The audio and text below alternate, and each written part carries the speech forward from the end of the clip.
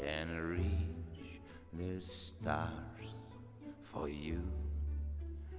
I can reach the stars for you. I can light the sky.